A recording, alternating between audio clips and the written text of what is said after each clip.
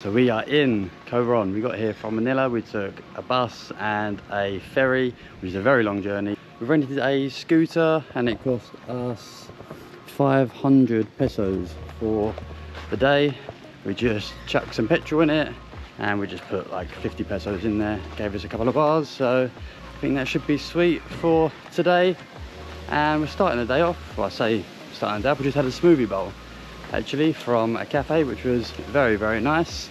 And this isn't the start of the hike. No. so the plan was to go on a hike up to Mount Tapyas but I'm not sure we've actually found the start of the hike. So well we thought we found the start of the hike up the mountain but we didn't but we have found it now. So yeah just loads of steps going up. I don't think it's too much of a hike. It is just I think like 720 steps steps. Yeah both got our flip-flops and slides on but it only takes 15 minutes apparently so not too bad. 720 one two that's step three. We we have made it to the top of Mount. Oh, gets the heart rate going for sure. And there's, n- oh. there's one person up here. So yeah, not sure it's a very popular thing to do at midday. Oh, I can see why. But you've got this cross here as Philippines is mostly Catholic. So that's why they have kind of like crosses compared to maybe Buddhas that you might see in other countries. And this is the back of the Coron sun, which all lights up at night. It looks really, really pretty, doesn't it? Very nice. Whew.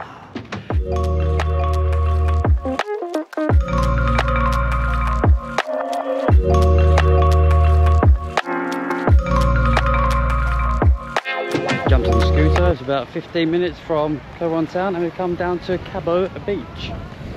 Looks not too bad, doesn't it? I think a dip is needed after that hike and getting sweaty. Ooh, feels good. This beach actually looks so good with all the mountains in the background. Very, very cool. And we had to pay 50 pesos each to come into this beach.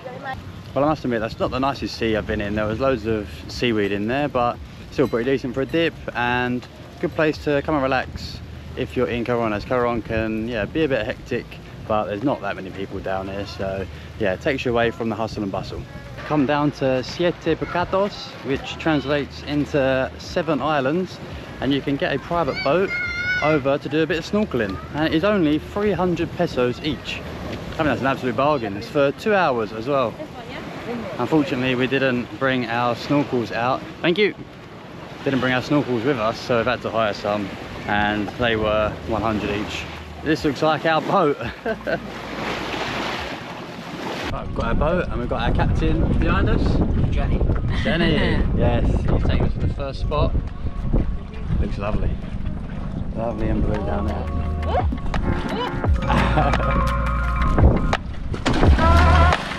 Here we go.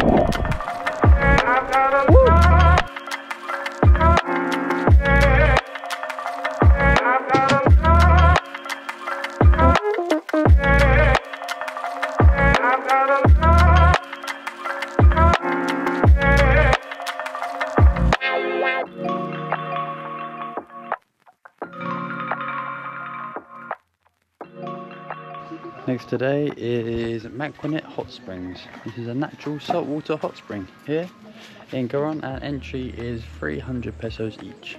You can see the hot spring here.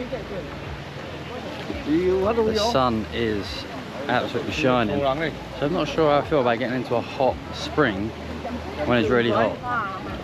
Be an interesting experience.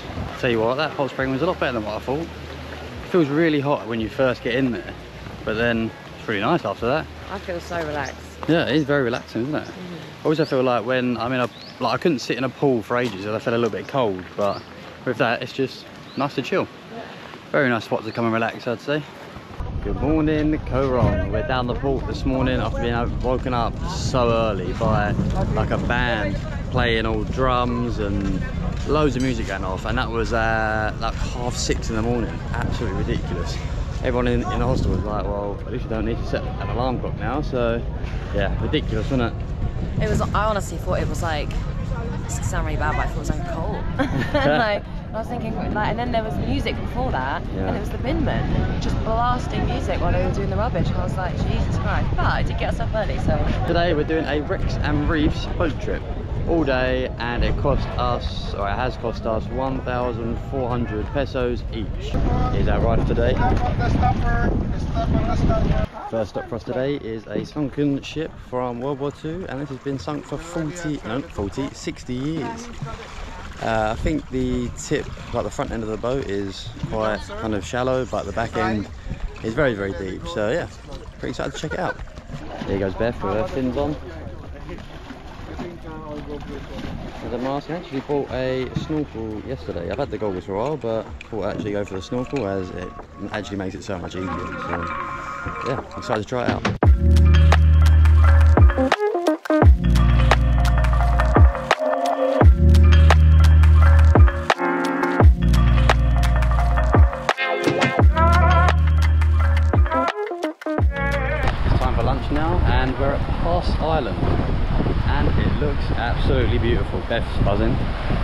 I'm so happy to be here. I've seen this. I've been. Looks so nice, especially with the palm trees as well. Unbelievable. I'm ready for a bit of lunch. Would you just look at this?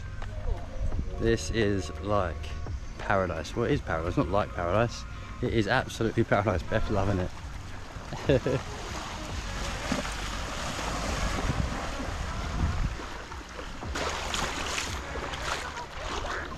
Oh, would you look at this spread we got? Beautiful. Second stop after lunch is a coral garden and he said there's apparently a school of turtles so I'm sure Beth will be on the hunt for those.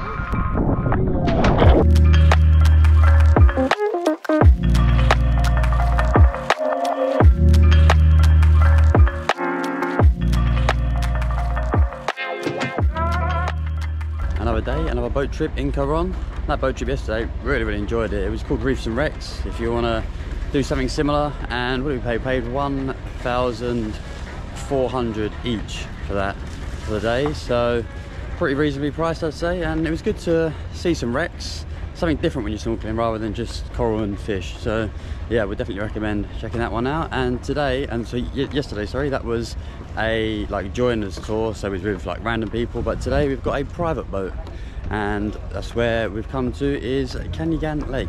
I think that's how you say it and it is a mix of freshwater and saltwater. I believe it's 70% fresh and 30% salt, and it is beautiful. And this one has cost us 2,000, I think 500 each. It's a little bit more expensive, but there is only six of us on the boat. Salty. This is the actual lake, and you have to wear a life jacket when you're in here. I think it's to stop people from going down to the bottom and touching it, I guess. But apparently they're quite strict on it.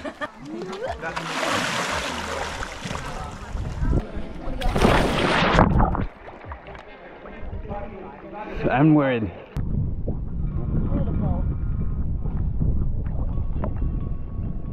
Next up for us today is Twin Lagoon and life jackets again, unfortunately, but I got the flippers on and my snorkel as well. So yeah, yesterday I had to go and change my snorkel as it was broken, so I got another new one today.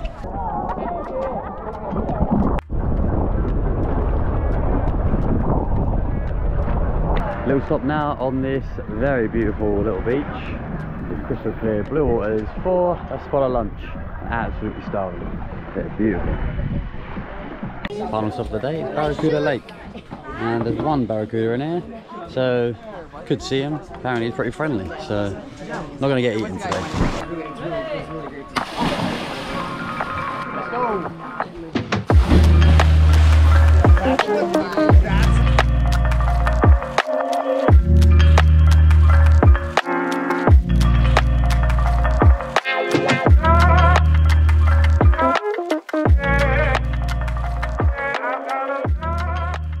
Our time complete in Coron, I recommend you spend around three days here. You can go and do the hike to the hot springs on one day, and then on the other two, you could do a boat trip or something like that. That is definitely the main thing to do here, is a boat trip, or if you're into diving, then you can do a bit of diving. Also recommend checking out Outpost Hostel. We didn't stay there, but we went there on one night and it's got a lovely rooftop bar with a pool and yeah, a very social vibe. So if that's what you're into, then check out Outpost Hostel. Coron's pretty cool. It's a, like a small little town, plenty of restaurants and plenty of things to keep you entertained. But we are heading now on a three-day expedition. We're going from Coron to El Nido, island hopping and all that good stuff on the way. So if you want to see that, then make sure you keep an eye out on the channel for that video. We're currently backpacking around Southeast Asia in the Philippines now. Plenty of good content to come, so make sure you subscribe.